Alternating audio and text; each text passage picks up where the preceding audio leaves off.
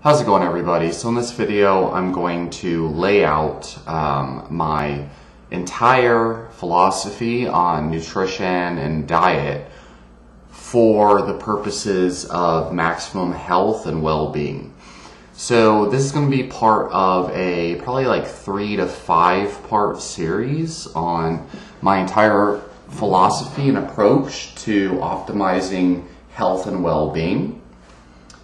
So um, I'm going to have a separate uh, video where that's going to be part of the series where I actually define health because defining health is probably the number one most important thing that we can do um, before we ever even start to talk about ways of optimizing health. Because a lot of people, they all say they want to be healthy and uh, they do all these health practices but they are like a rat on a spinning wheel getting nowhere because they have no working definition with any real tangible um, application in the real world to operate from. And so if you don't know what the goal is, you don't have the goal clearly defined, how do you expect to ever achieve that goal when you have a very ambiguous and nebulous term like health that, that you haven't actually like defined specific metrics on, um, there's no way that you can actually optimize diet, nutrition, herbs, supplements, and lifestyle without actually clearly defining that. So I'll do that in a separate video, but we'll put it really short here at the beginning of this nutrition uh, discussion in this video. Essentially, um, the def my definition of health, and I think this is what health should be defined as in general, is um, optimizing all markers of disease. So pretty much if you have an autoimmune illness, uh, you you know a marker of health would be rever- you know putting those symptoms into remission. Okay. Um, so removing autoimmune illness you might have, like basically having no symptoms of autoimmune illness, uh, you know, minimizing symptoms of cardiovascular disease, of uh, anxiety, um, pretty much any symptom of, of any illness or any condition, you want to minimize or have none. So, like perfect health would be living without symptoms of any disease. Okay, and so the the less symptoms that you have of a disease, um, of any disease or any illness, like the less unease that you have, right? Um, the more ease you have and the less unease you have. Physical unease, um, physical symptoms of disease, and the same thing with ment- mental symptoms of disease. The, the more you minimize those symptoms, the healthier you technically are. Okay, health is living without disease, without the symptoms of disease. Um, so that's the first working definition. The first part to this working definition is living life with, with without symptoms of disease. That is health. Okay. Um, and, and interestingly enough, there's a whole lot of health practices that actually contribute towards dis-ease. Okay. Um, you know, if you have like uh, hypochondria or like anxiety surrounding health, or you know, like if you, especially if you're like extremely, um, like mentally claustrophobic, if that makes sense, and you're like squeezing the life force out of you with all of the strict health practices that, practices that you have, that can actually contribute to dis-ease. It, it can if it's causing health anxiety. Um, if you feel stressed as a result of your health practices, you're actually contributing towards disease, at least in my observation. A lot of people, they're just, you know, and that's something I've observed in a lot of the clients I've worked with over the years, and myself included. So that's something to keep in mind. Um, so another side to this is kind of like the prevention aspect.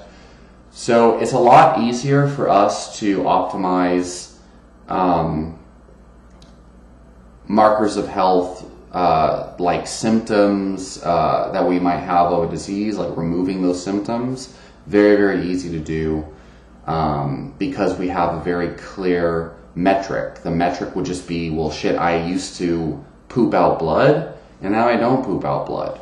So that symptom's gone, therefore I know that I'm much healthier than I was when I was pooping out blood because now I'm not, right? So that symptom's gone. Um, though pretty much any kind of like uh, symptom that goes away, like that's a very easy metric of health that we can use to gauge whether our practices, our diet, our nutrition, our herbs are working or not. Um, but then we have the other side, which is prevention, and this is a lot more ambiguous, meaning like we don't actually know how relevant some of these health markers are for prevention. So, you know, things like HDL cholesterol, LDL cholesterol, triglyceride levels, blood glucose, and even things like uh, vitamin D status and, and whatnot. Uh, we have pretty good evidence for a large chunk of these metrics. I think things like triglycerides, um, blood, glu- blood glucose, I think these are pretty, uh, pretty clear on, you know, we want to reduce triglycerides uh, to a certain degree and keep uh, blood sugar within a certain range. Um, but things like HDL and LDL are, you know, heavily debated. There's some people that believe there's no debate involved and LDL is a causal risk factor, causal proxy for heart disease, but I just don't think so. I, I do think HDL has a protective effect within a certain range, something like 50 to maybe 70 nanograms per deciliter, but we don't really know. It seems to be more of a proxy for metabolic health rather than anything else. But um, so these are like markers of uh, disease that we want to keep within a healthy range, right?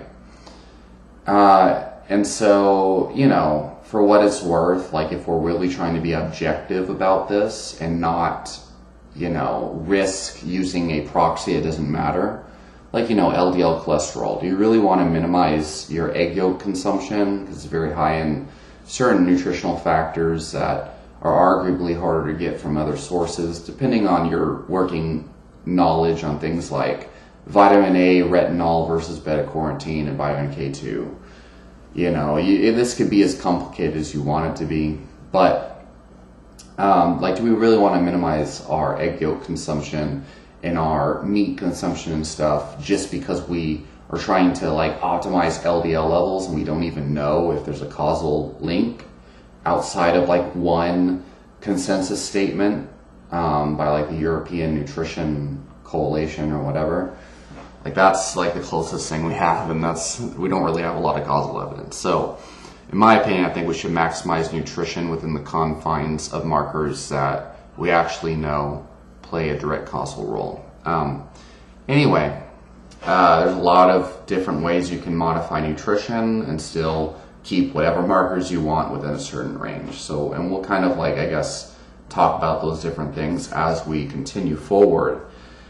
Um, so yeah, health is health is removing all symptoms of disease you might have. You know, as realistic as that might be for your own willingness to adhere to a program, and then optimizing your blood levels of certain cholesterol and, and triglycerides, et cetera. And then beyond that is just like your well-being. You know, like how content, happy, fulfilled are you? How much stress do you have, um, etc. And you know, there's a reason why we're breaking this up into parts is because diet, I believe, is a huge factor, but over the years I've realized it's not as big of a, it's not the entire picture, and it plays a significant role, like significant causal role, um, that fortifies all areas of your happiness, well-being, and health.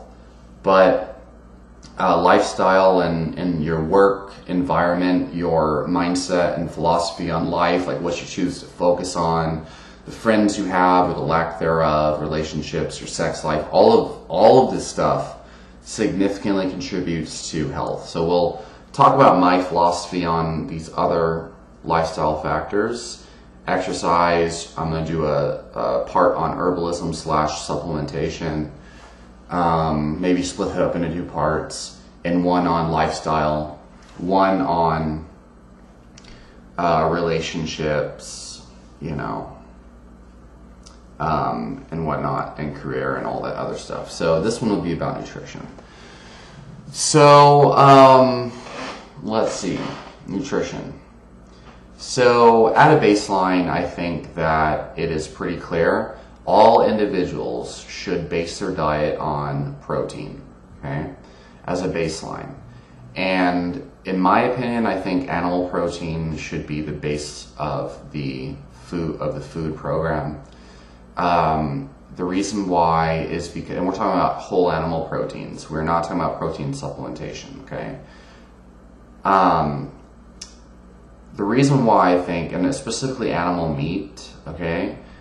The reason why I think that animal meat should be the base of the program, and we're talking um, standardizing portion sizes to the amount of protein that they include, is because number one, at a baseline, uh, so we have the minimum daily requirements for protein intake uh, established by the government. And, you know, this is kind of like almost the RDA, kind of, but it's generally under the RDA. And it's very, very low. And most Americans hardly even reach the minimum recommended daily allotment of protein per day. And I think this is a severe contributor to a lot of metabolic diseases, in particular overconsumption of calories, uh, severe obesity, etc. The main contributor to obesity and metabolic dysfunction that I can see, and we're talking in the general population, we're not talking about people who actually will spend hours a day learning how to optimize their health and listening to something highly technical like this particular discussion that I am engaging in right now. We're talking about people who have no working knowledge of nutrition at all. Like, these people are over consuming carbohydrates and fat like straight up, period. It's not a matter of carbs are bad or fats are bad. It's a matter of, at a baseline, overconsumption of nutrients like carbs and fat that's only purpose is extra energy to burn, right? They're just consuming too much carbs and fat and not enough protein either. Um, protein is unique, and we'll get to that here in a bit. So, too much carbs and fat, and not only that, but the types of carbs and fat they're eating are nutrient deprived and the most, the least satiating out of all.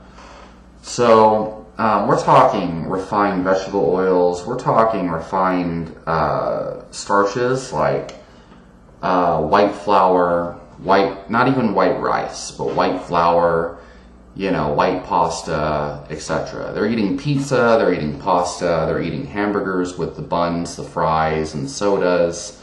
Lots of refined sugar. In fact, recently I saw a survey from 2017. I think it was the USA, USDA um, food consumption data. They showed out of all calories in the American diet in 2017, I think it was like 40% of the calories came, so 40% of the carbohydrate calories in particular came from refined uh, sugar, like meaning sodas, like sugar sweetened beverages. Some like 40, 40, 40%, I think. And the remaining, and then there was a, another 30 came from refined starches. And then the rest was like um, miscellaneous. Okay. I think it was more than that, you know. So like it's like at a baseline, people are drinking mostly sodas and um, and then maybe cereal like for their starches, which is just ridiculous. So to say that like oh carbs are killing people, it's like you know maybe, but like within the context of a calorically controlled diet, um, in a whole foods diet in particular, I think if they're eating adequate protein as a baseline, it be, it becomes less important whether eating carbs or fat is your main fuel source, as long as it's whole foods and you're eating enough protein. Um, so, because you cannot have diabetes within a calorically controlled state um, unless you're like, you know, on the verge of uh, non-alcoholic fatty liver disease, which requires a pretty large consumption of carbs to overfill liver glycogen, etc. So anyway, we gotta before we establish nutrition guidelines, we gotta understand what's actually killing people. And so in the average population, like literally nothing that no optimization matters uh, beyond caloric control for them. Okay. And the number one thing that's going to help people to stop eating all these excess calories number one, removing hyperpalatable foods, especially refined foods. And number two, um, eating enough protein. Okay. Uh, you know, so what is adequate protein? I'm talking one gram per pound of lean mass per day is optimal. Okay, but at a at a minimum for survival, uh, 0.5 grams per kilo of body weight. And you'll see lots of different recommendations. But that's to prevent like protein deprivation symptoms. And, you know, raw vegans are notorious for like just melting in their skin. Cooked vegans, especially evidence based ones who don't eat junk food, tend to hold on to more lean mass, but they still have other issues down the road. Um, but you know they're definitely not nearly as unhealthy as raw food vegans. That's because on a raw food diet, a raw vegan diet, you just can't get enough protein, especially bioavailable protein, to sustain uh, lean mass, unless you're like on steroids, like John Rose. so um, anyway, and they have, and even cooked vegans have are notorious for. It's pretty common for them to have high triglyceride levels, just on a case by case basis. And I've seen a lot of their blood work where they have high LDL and high triglycerides, even though they eat a low saturated fat diet, which is just weird. So, um, anyway, eating adequate protein is essential. Um, there is a direct correlation between the amount, the strength and the amount of lean mass a human holds past the age of 65 and, and their levels of longevity. And also, not only is lean mass and strength, specifically grip strength, um, directly tied to living a longer, disease free life in older populations, but also uh, one of the leading causes of death in populations past the age of 65 is hip fractures, or actually, sorry, but complications from falls and falling falling in general. So there's a huge, huge um, link between strength and uh, muscle, lean mass, lean tissue, and longevity. Okay, and I think that's becoming pretty pretty damn clear. Which is why there's such an increase in experts like barbell medicine. Um, shout out to barbell medicine uh, Austin Baraki and Jordan Fogger-Bummer. I can't even talk, pronounce their names.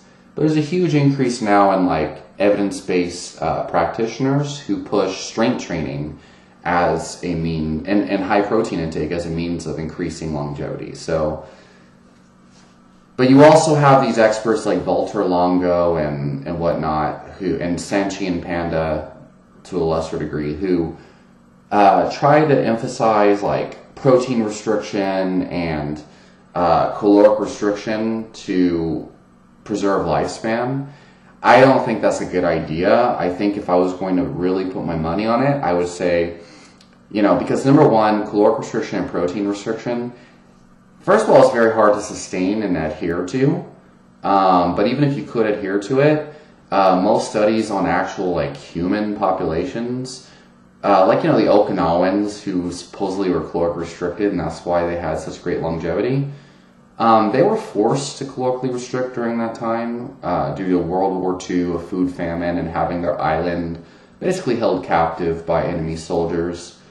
So I just really don't think, um, like, so that's the first thing is like, you know, they're calorically restricted out of force, not out of, you know, uh, willing. And then, of course, we have other blue zones that weren't calorically restricted. And they're eating a whole foods diet, where they're generally eating more uh, animal protein than is commonly reported.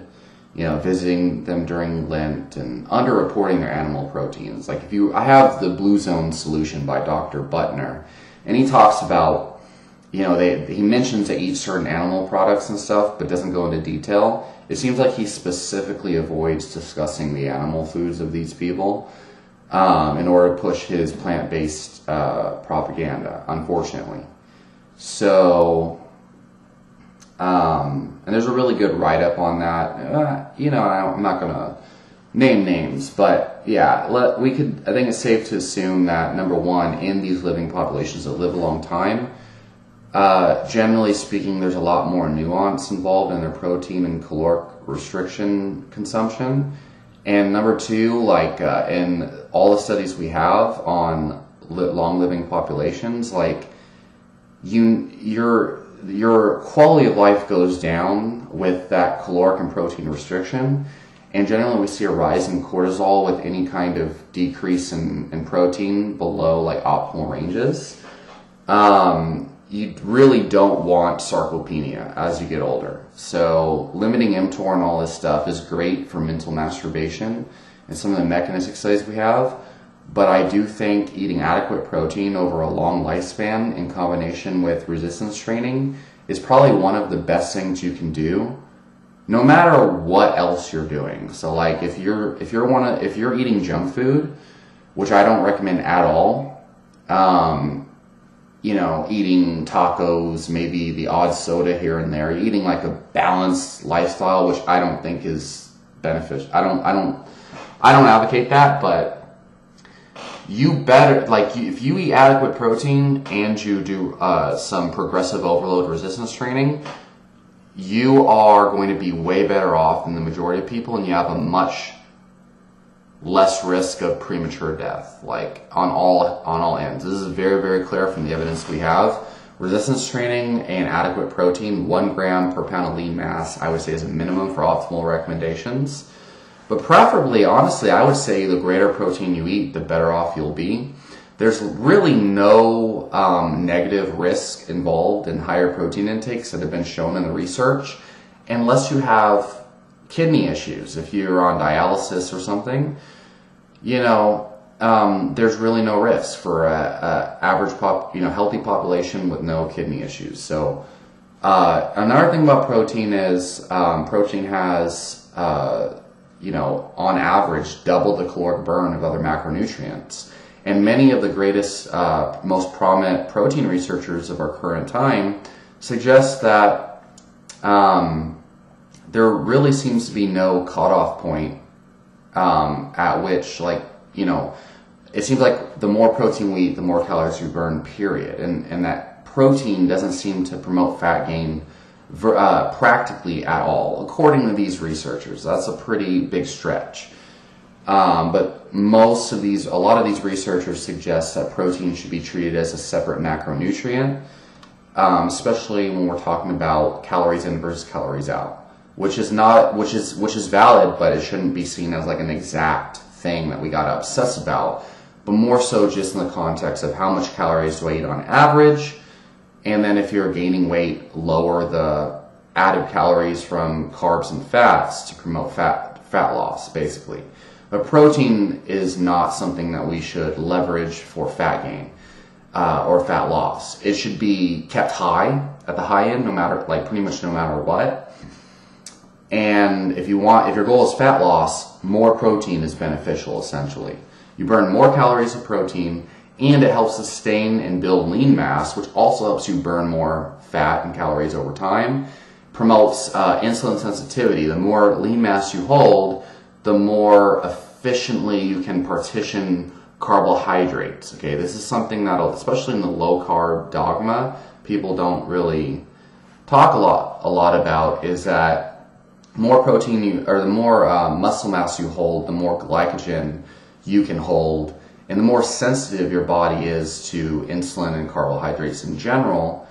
So, you know, in ketogenic athletes, for example, it's not uncommon for, you know, um, and especially in research, Stephen Phinney, Jeff Volek, most prominent experts in low carb nutrition on the planet, some of their athletes that they've coached specifically can consume up to like 100 grams of carbohydrates a day and stay in uh, deep in ketosis, even up to 150 grams a day. Some of them, you know, despite they're eating 150 grams, they stay in ketosis. And some of them, I've seen type 1 diabetic um, athletes eating up to 100 grams of carbs a day, staying in ketosis uh, while managing their symptoms at the same time because they hold a lot more lean mass. So what that leads to is more protein, more muscle, uh, more caloric burn through multiple mechanisms, and more sensitive to insulin.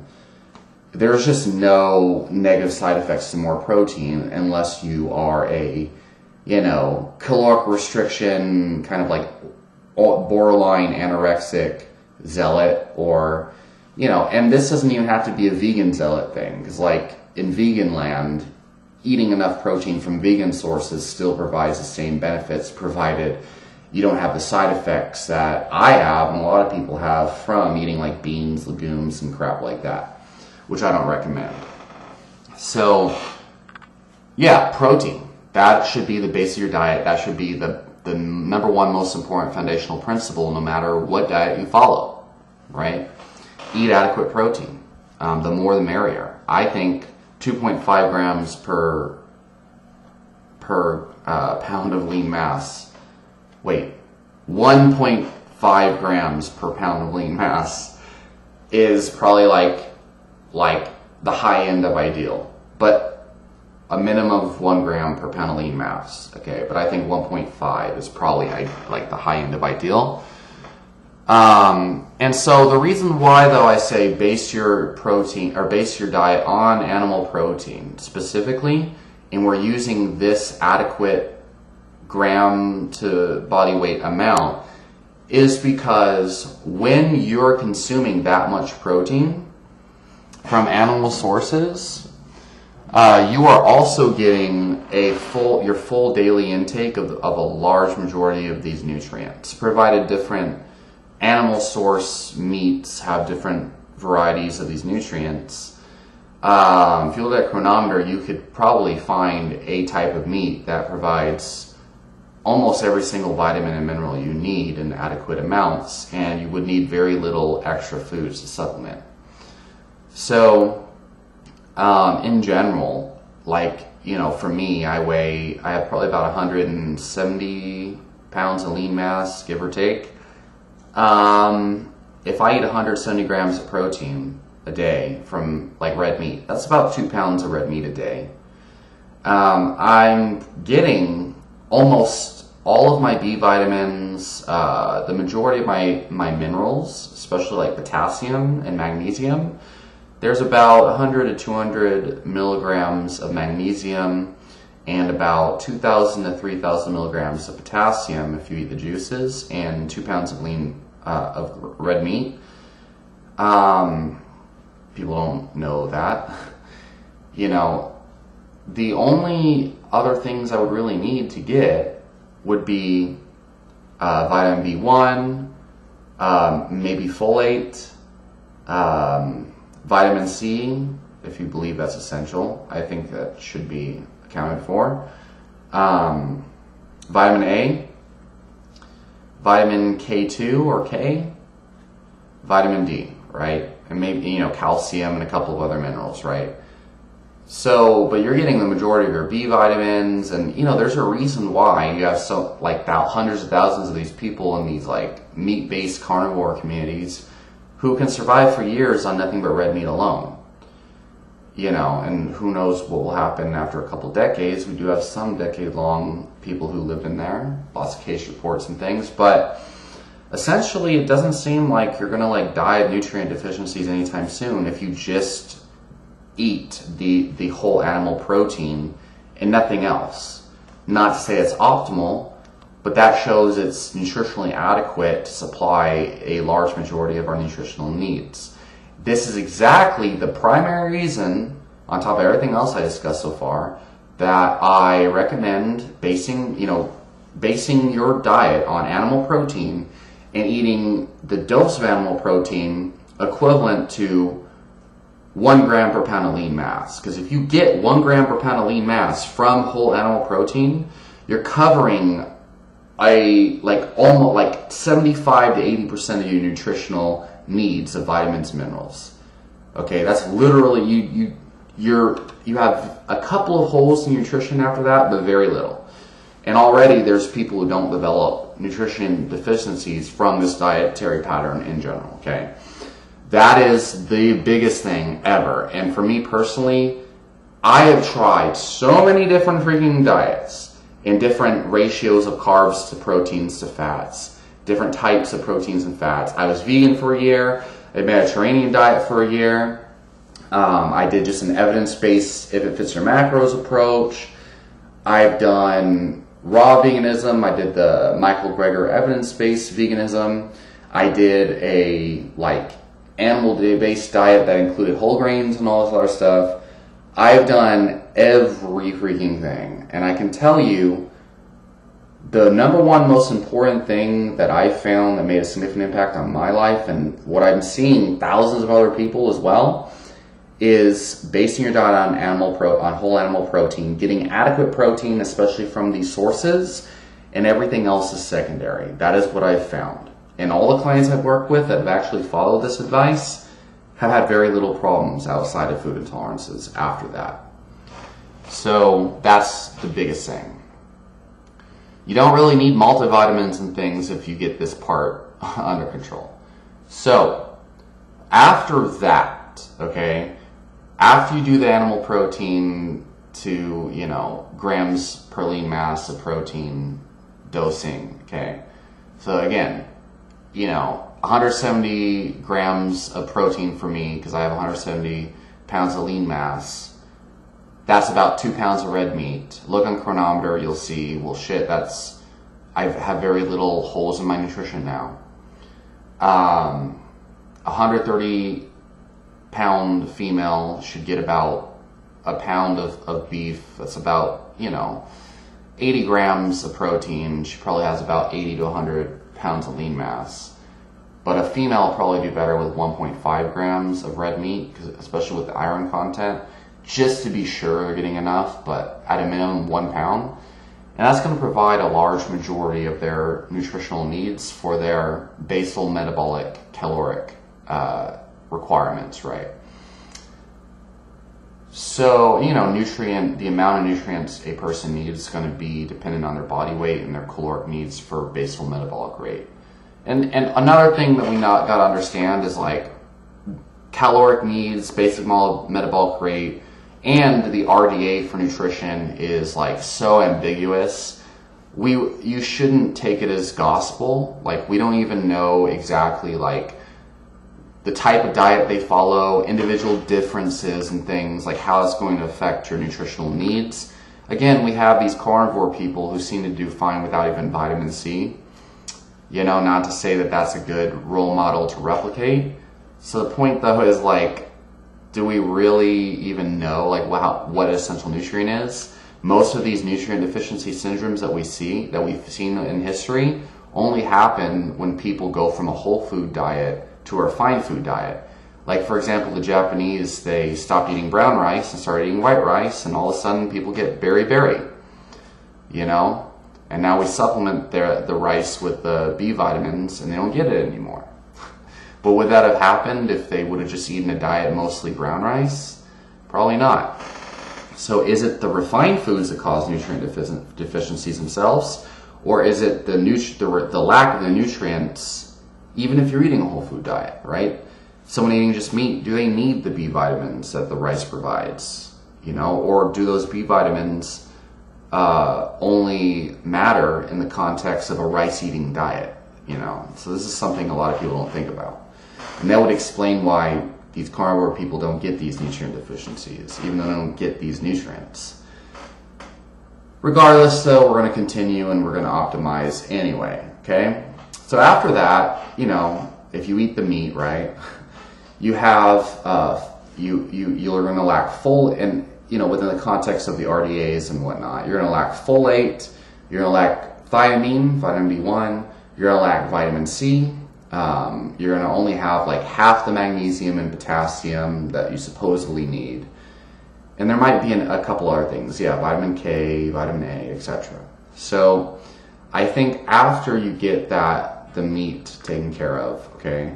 For the vitamin B1, the folate, the vitamin A, um, and the vitamin K, I think getting probably like four ounces of liver a day is probably a good idea because that will take care of the majority of these things. Um, and I also think eating, you know, maybe four to eight eggs or something, right, might be a good idea.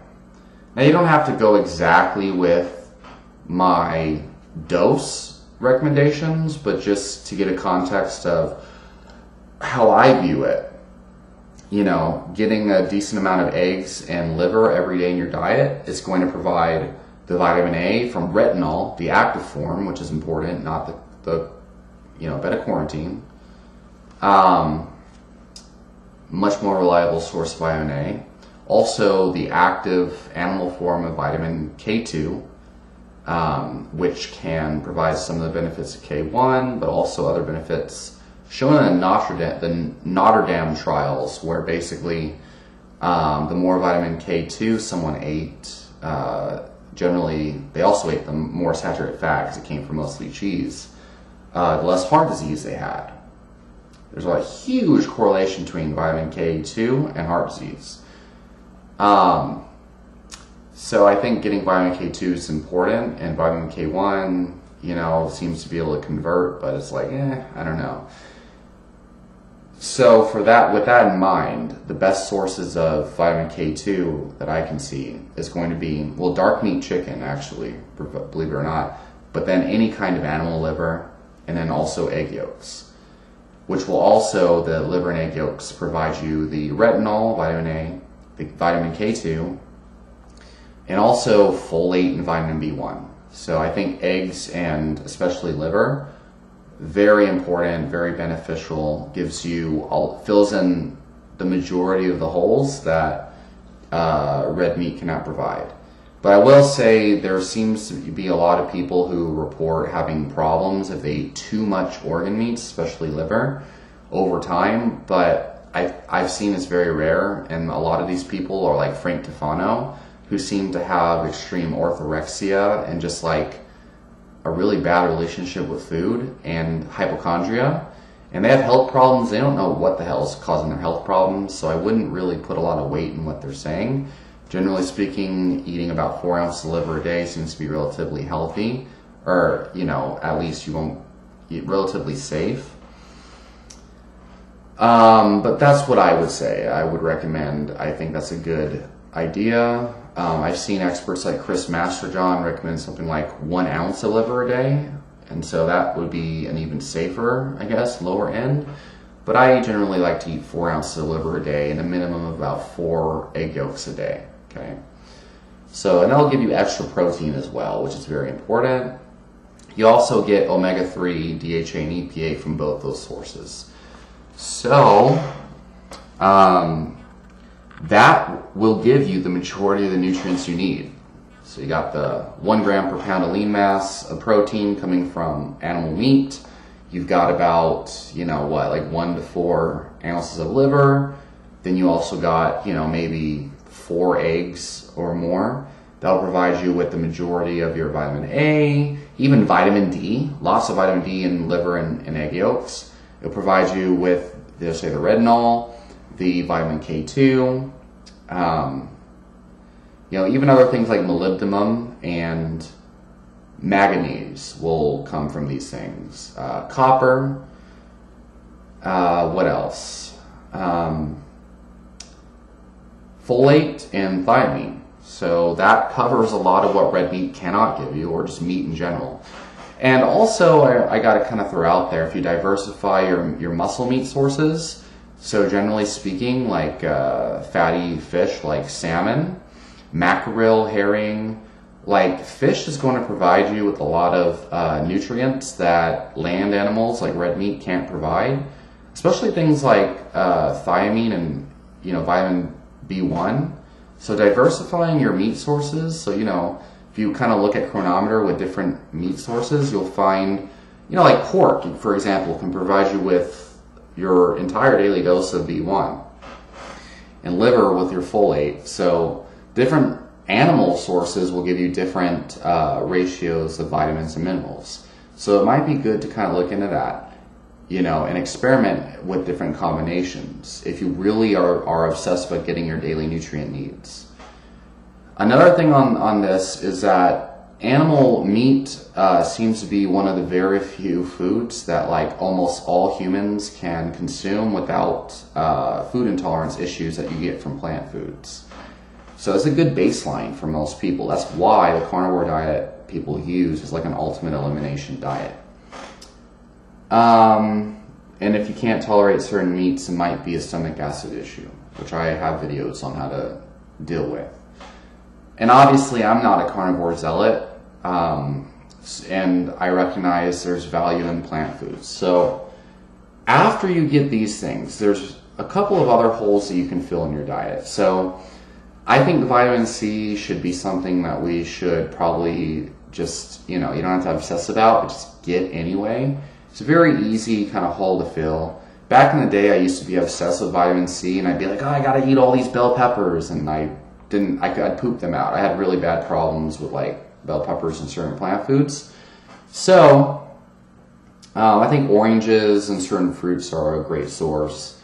You could take a ascorbic acid supplement, literally zero reason to get any like specialized form of vitamin C. You don't need any specialized form.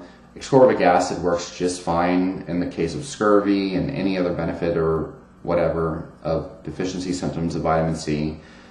Okay, clinically speaking, unless you really want to just be weird and appeal to nature and whatever. um, so getting vitamin C is important. You can get it through fruits, uh, and you can get it through vegetables if you can tolerate vegetables. Generally, most people should be able to tolerate fruits and meat just fine. Uh, if you're on a ketogenic diet, and that's another thing that we'll have to discuss here in a bit, is that there's going to be a lot of people who actually will thrive on ketogenesis. I myself do amazing on a ketogenic diet as long as I get enough protein. Um, and I think everybody should do at least a four week experiment where they do a ketogenic diet. But you got to do it right. A lot of people don't do it right. They don't eat enough salt. They don't uh, eat enough fat and they don't eat enough protein. Okay? And they wonder why they feel like crap. But, you know, and also they're like, oh, it's been one week and I feel like garbage, cortisol spike, whatever, can't sleep. Um, my exercise performance went down. Ketogenic sucks. Keto, ketosis isn't good. We need carbs to survive, blah, blah, blah.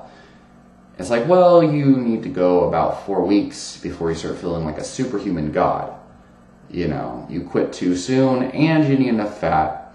So your body's suffering not because of ketosis, but it's lacking overall calories, uh, especially if you're already lean. You're not eating enough protein, so of course you're to feel like shit, especially in a calorically deprived state. Protein becomes more important. You know, and if you're not supplementing, supplementing salt, you'll feel like shit no matter what diet you're following, especially in ketosis, because you start to excrete more sodium.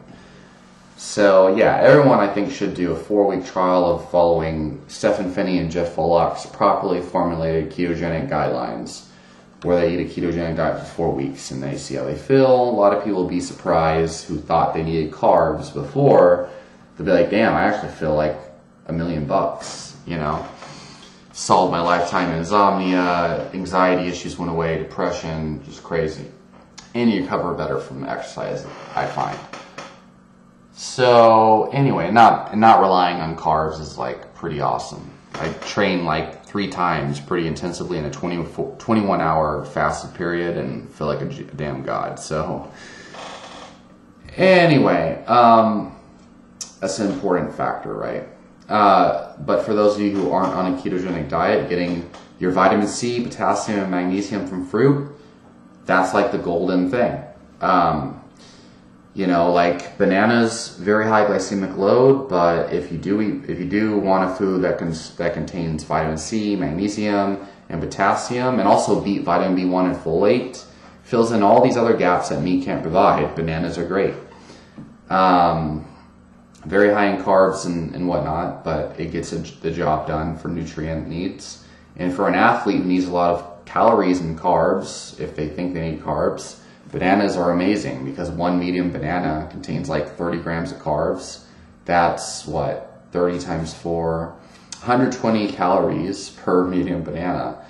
And um, quite a substantial amount of potassium, magnesium, and vitamin C, especially magnesium and, and, and potassium, and vitamin B1. So, you know, oranges, or orange, however you want to say it, oranges are great. They provide a large amount of vitamin C decent amount of magnesium, calcium, uh, and potassium. You know, you have things like pineapple, blueberries, etc. So those are good sources of the rest of the nutrients that you might think you need based on the RDA. Um, another thing, especially for those folks who are on ketosis, I find uh, cooked cruciferous and vegetables and carrots um, provide a large amount of trace, you know, like vitamin C, magnesium, and potassium, as well as calcium. Not in large quantities. I think meat actually provides way more in an easier to digest form. But um, if you need another sort, and also like folate and B1, if you really want to like kind of dial in those other nutrients, you can be consuming the the broccoli, the cauliflower, the carrots. I just buy like the frozen mix and uh, boil it down. And remember, I generally follow a mostly meat diet most of the time. Generally supplemented with fruits if I'm eating carbs, but um, lately I've been kind of cycling in some of these vegetables and experimenting with them. And I actually find zero digestive problems after the first couple days. My my gut has to get used to them.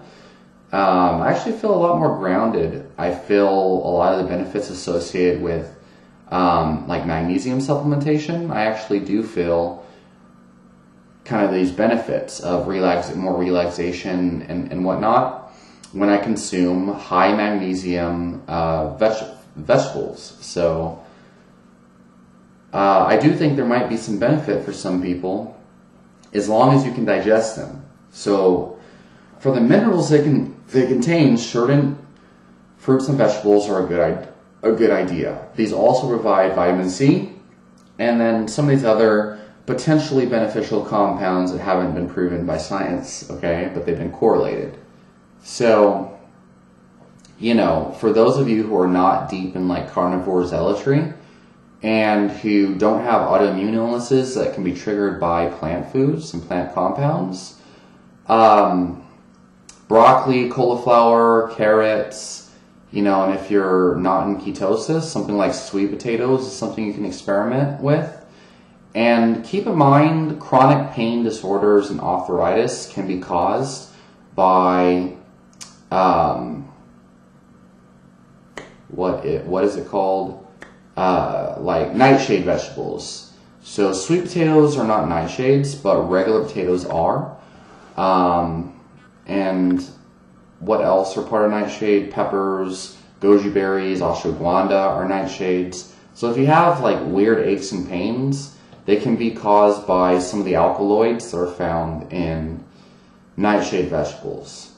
But if you don't have like these uh, commonly reported symptoms of nightshade intolerance, like arthritis, and also there's some people, some experts believe um, destruction, like uh, what is it, breaking down of like the the intestinal lining, they believe can be caused by some of the saponins in potatoes and uh, side effects of nightshades. They believe the capsicum and, and peppers.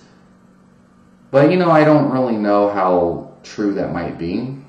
We don't see that in cohort studies and population studies. But if you do have like some of these issues, you can experiment with removing uh, some of these nightshade vegetables. I will say there's a lot of people that cure their ulcers with, or treat their ulcers with um, cayenne pepper, um, probably due to its effects on balancing out stomach acid, which can uh, help to treat uh, H. pylori and things like that. So, you know, it doesn't really seem like there's a huge causal link between destruction of the gut lining and capsicum and whatnot, but just something to kind of like pay attention to, okay? Um, but otherwise, yeah, lots of magnesium, potassium, and vitamin C come from tubers. You know, like even white potatoes. People people lump white potatoes in with like a refined grain. It's not a white carbohydrate in the same sense. It's very high in magnesium, potassium, and vitamin C, and these and folate, I believe, as well. I might be wrong though. So maybe if you can tolerate um, potatoes and sweet potatoes, consume them as a great part of a nutritionally adequate diet. But if you have intolerances, like I notice, especially like the peels of potatoes, trigger my IBS symptoms, uh, which you know only happen if I eat certain plant foods, like, and I eat a lot of like plant skins and things. Then you know, um, yeah, be aware that that might happen. But otherwise, don't be afraid of eating these foods. These could pr- contribute to um, a large portion of your, of your nutritional needs. And if you're a athlete wanting a good low glycemic load carbohydrate source, potatoes, sweet potatoes, bananas, um, or you know those are high in glycemic load. But you get my pick, my picture. High in magnesium, minerals that you lose your sweat. Very very good options. So yeah, I mean, low, uh, non-starchy fruits, uh, non-starchy vegetables, as well as fruits and tubers, I think are my big picks on plant foods. I think they're great. Um, you know, as like a foundation of health. Now, uh, in my later video where I talk about herbs, okay, um, I'm going to be talking more about medicinal compounds in plants. So, like for example, spices, right? We have rosemary, um, which has like certain compounds that can improve cognition. We have um, cayenne pepper, which has capsicum and whatnot, which can be great for improving circulation, for uh, helping to heal from, from viral infections, bacterial infections. It can help clear your sinuses. I'll be talking a lot more about medicinal compounds and plants and also some of these polyphenols and tonic compounds found in plants like ginseng and whatnot. And also things like ginger have actually tonic type properties similar to ginseng that a lot of people don't know about. So I'll be discussing that more in depth in my future videos on herbs and things. Uh, but right now, I'm going to say, look, food intolerances are huge, okay? This is the next kind of level to this, okay? So if you can eat beans, you know, I believe there's not a lot of harm in eating like deeply cooked beans and, and whatnot. And even things like black rice, purple rice, and red rice. I'm not a fan of brown rice. I think it's very generic in its nutritional properties. But I think there are some merit to these deeper pigmented rices and, and whatnot. Even things like, um, you know, I don't want to go too far off the deep end. But the main problem with things like lentils, beans, and whatnot, look, it's not the lectin content, the saponins and stuff, okay? When we're looking at living populations of people, the ones who eat the like a larger amount of some of these whole grain foods do have better health outcomes. So I really don't think it's it's rational to say like, oh, like freaking whole grains will kill you, blah blah blah. That's not freaking supported by evidence. It's just not. But it's very important to understand that there's a lot of people, myself included, who will who will feel like they're dying if they eat these foods. I'll have stomach cramps, irritable bowel syndrome, and psoriasis the more I eat these foods, okay? I'm fine if I eat them in smaller quantities. If I go to a Middle Eastern restaurant and eat some hummus and stuff, I don't have any problems. But if I eat beans as a normal part of my diet, especially if you don't cook them enough, man, I just, I die on the toilet. I, I will die, okay? So, um, generally healthy foods, but it's based on individual differences. So I do have a blog post about it. It's called the, the Hierarchy of Carbohydrates. I might go and look for it and link it in the description. If you want to see it, go ahead and ask me about it in the comments. Um, but generally, after you get, you know, the non-starchy vegetables, the fruit intake, and the, the meat recommendations, you can add the freaking whole grains, the beans, the nuts and seeds, but just keep in mind some of the negative side effects that they can have. Um, so, you know, and that's based on if you have digestive problems, if you have autoimmune illness, you know, irritable bowel syndrome, colitis, Crohn's disease, like you would be better off just eating the meat and fruit diet because that will heal most of your issues. Um, non-starchy vegetables are kind of like some people have problems with them, a lot of them don't. That's why like the, the autoimmune paleo and the paleo diet are so widespread great for like treating some of these autoimmune conditions because they're less that people have less intolerances to them. Most people are going to find that they can include a lot of these plant foods without needing like to just eat a carnivore diet. I don't think people should restrict them to just meat unless they have a real good reason to. Um, I think calcium is important, so I like a bone meal supplement, but I don't think you need a lot of calcium, especially if it's coming from something like bones, where you know, because I find I get a bit dehydrated if I start to consume too much calcium, especially too much bone meal. So probably like maybe an eighth of a teaspoon of bone meal like twice a day is probably adequate, especially if you get enough vitamin D. I think supplementing vitamin D is a beneficial thing if your levels are low. And I've looked into the research, been back and forth with vitamin D. I'll make a separate video on this, but I think uh, I think it's what H25 hydroxy. I'm probably butchering the molecular name, but the supposed inactive metabolite of vitamin D is a is a reliable test to get for vitamin D. So I don't think you need a special like I don't think you need to be um, worried about the active form of vitamin D.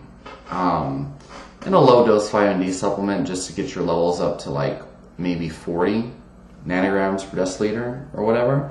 Probably a good idea.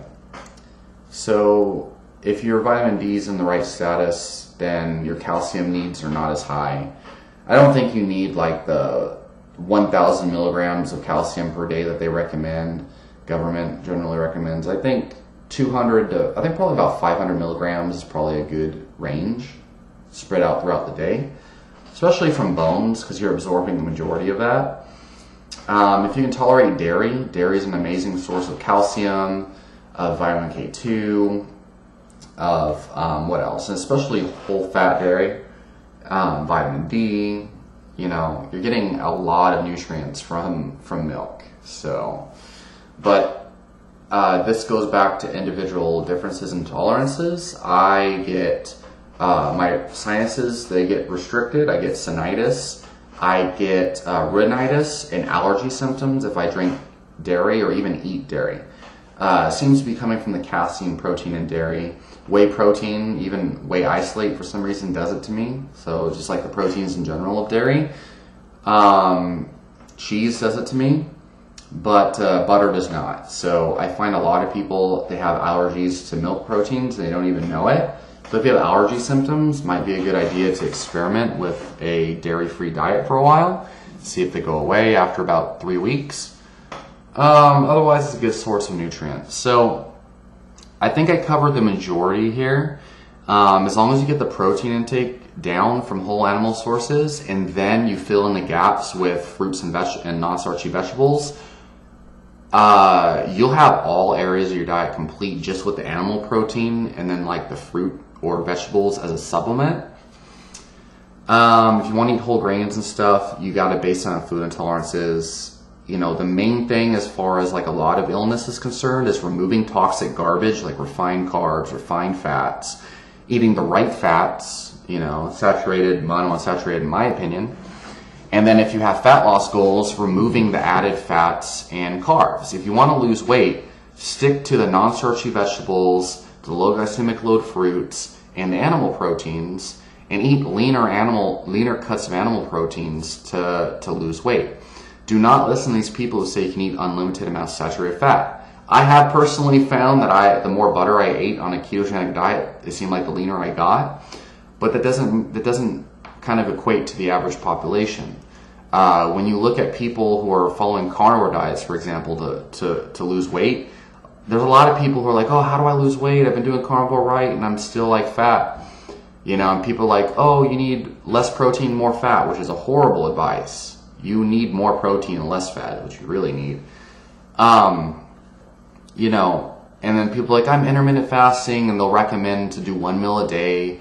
Look, the only reason why one meal a day is a logical progression for these people and, and solves their weight loss plateaus is because you eat less calories in that window. So, um, I'm sorry, but eating more protein will burn more calories and provide more nutrients. Okay, you get more nutrients from the protein than you do from the freaking fat content. Um, and you're eating less calories from the added fat. You're going to lose a lot of body fat that way. If you just eat a lot of freaking lean animal protein, that's like the best way to freaking lose body fat. Um, and then you and then um, and then you know reduce the amount of extra calories from carbohydrates. That's how you lose body fat. But if you don't have body fat to lose, you know, eating more fat is probably beneficial, especially for your hormones. Um, you know, and then like in the non-starchy fruits and uh, non-starchy vegetables and fruits, and you know, the rest of your diet's highly individualized. So if you have the autoimmune illness or whatever, you have digestive problems, whatever, you have neurological disease, you're going to need to specialize your diet for that. But this is like the basic outline. Um, you know, so what are some of the blood markers that uh, we're looking to regulate with this this way of eating? Keep the blood the your glycemic control under under control keeping the glycemic load under control, um, which will help to keep your blood glucose down, help keep your hemoglobin A1C down, your fasting insulin, insulin down. Unless you're eating a lot of bananas and just a ton of white potatoes, you're probably not going to suffer from diabetes eating this diet. It's very easy to, you know, um, treat diabetes, type 2 diabetes, by eating low glycemic load fruits.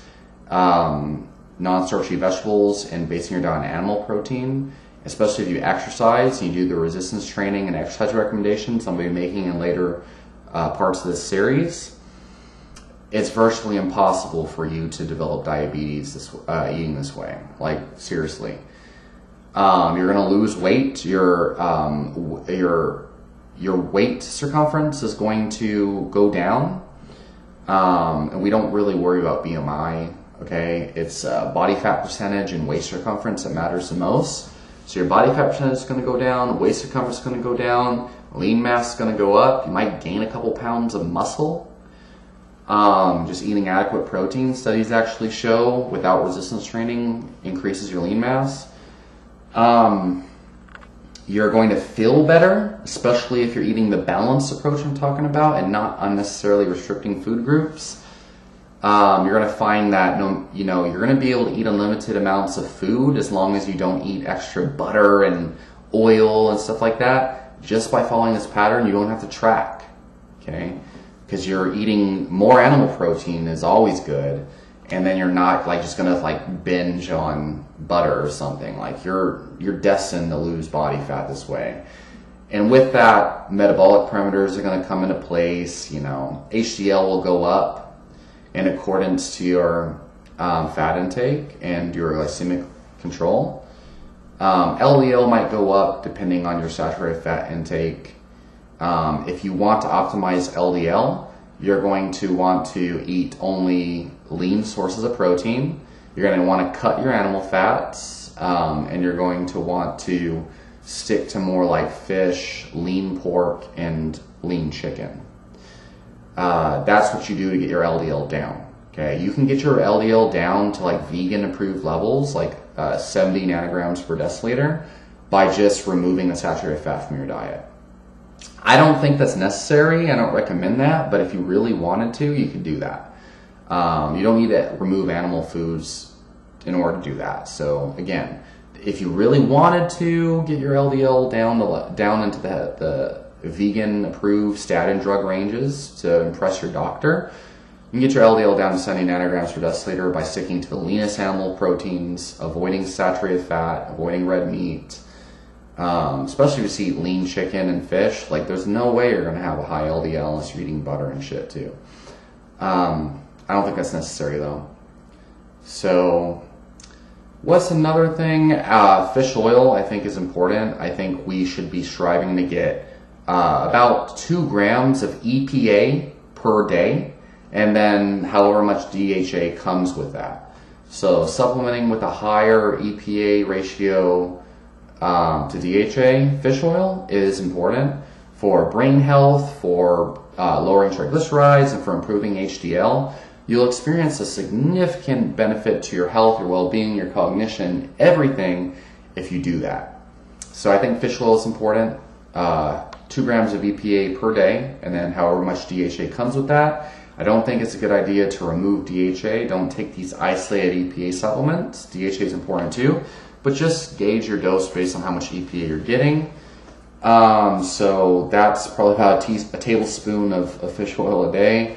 I think that's great. I think that's amazing. I think that the literature suggests, no matter what these other people say, like Ray Peat, that um, I think you're going to experience nothing but benefits especially if you get a high quality brand. Um, and then maybe supplement with magnesium. Uh, I think magnesium citrate is good.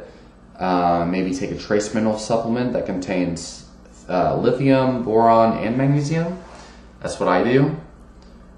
um, and vitamin D supplement. And if your levels are, are low, um, I think it's important to get a vitamin D test if you're going to do that. So yeah, we'll discuss uh, some of these other things in future videos. Um, just want to get a baseline out there. There might be some things I'm missing here, but I think I covered everything. Calcium, you know, magnesium, uh, getting all your nutrients. So we'll discuss more like uh, of these like polyphenols and things in the next video. Um, we'll discuss like you know the research surrounding fruit and vegetable intake in a separate video. Um, I don't think there's causal evidence, but the most of the research suggest- suggests um, about I would say four to eight cups of fruits and vegetables a day provides a large amount of risk reduction, relative risk at least, which doesn't seem to be clinically significant um, for many diseases. But if there's any effects of fruit and vegetable intake at all, it seems like the more that you include in your diet, the healthier you become. So it doesn't mean that you need to eat fruits and vegetables. It just means like if you do, you're probably probably only going to get benefits as long as you can tolerate them. So I think that's very important to understand what that means.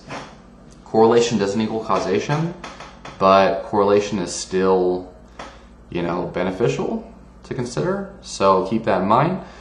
Uh, and I'm going to leave you all at that. So anything that I didn't address down in the comments, go ahead and ask me about it, and I'll address, uh, I'll reply to y'all, and I might make an, a, another follow-up video. Uh, stay tuned for the next the series. We're going to be discussing lifestyle factors um, like relationships, sleep. We're going to be discussing uh, exercise, how to exercise for health, why you should exercise, how much you need. Um, we're going to talk about positive mindset and how to how to optimize your mindset for health. We'll talk about things like music, maybe. We'll talk about uh, we're going to talk about herbs like tonic herbs, reishi mushroom, cordyceps. Uh, we'll talk about specific supplements, magnesium, polyphenol supplements, intermittent fasting. We'll talk about all of that in the future. So this is just part one. Let me know if you enjoyed this. Let me know if you watch the whole thing down below. I'll talk to y'all next time.